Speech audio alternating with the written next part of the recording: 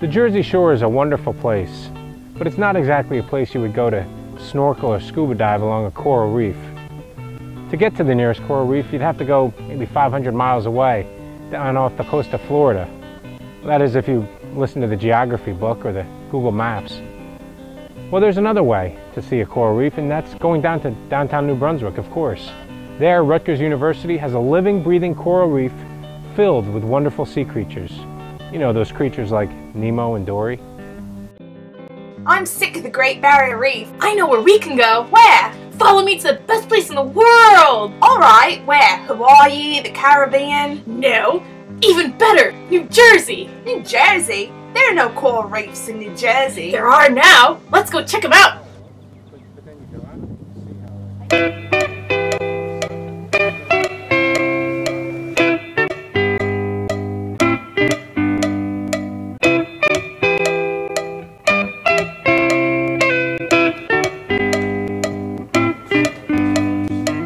Is what we're trying to create here is a, a similar an environment to the natural environment these corals are, are found in.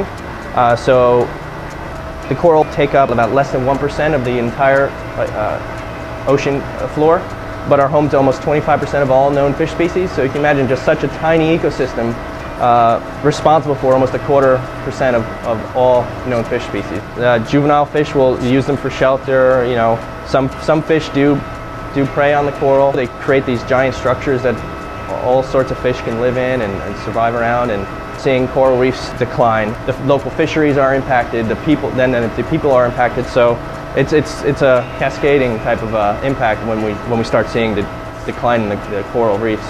One significant contribution to the coral reef's decline is the impact of climate change, specifically the amount of carbon dioxide absorbed by the ocean.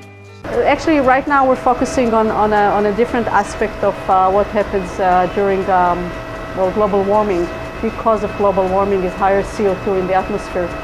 And about a third of the CO2 in the atmosphere actually gets absorbed by the ocean, which sounds like a good thing and used to be thought of as a good thing, but what happens is when there's more CO2 in the water, uh, the water becomes more acidic.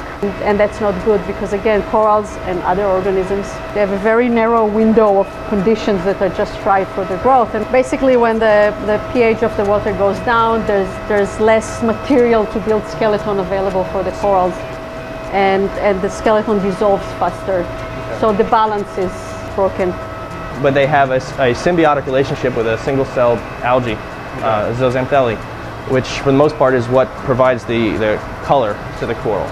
Bleaching is what happens when the coral is supplemented to different stresses, more usually high temperature okay. due to uh, sea surface temperature rise, and things like that. Right. Uh, those zooxanthellae, for some reason or another, are stressed out and are expelled from the corals, and which leaves the coral and, uh, with a white appearance. While they're in such a susceptible state, they're more likely to succumb to infection or things like that. Rutgers studies are crucial for the survival of coral reefs, but they also have great potential for fighting cancer in humans. We found um, some compounds that grow in this soft coral here, which is called Xenia, that could potentially be cancer drugs used for chemotherapy. In one step, we determine whether a compound can be um, not only potentially um, kill cancer cells, but also in, in one step find out a little bit about the mechanism. Well, looks like we found Nemo and Dory after all. Where else would they be but downtown New Brunswick? In Wild, New Jersey, of course.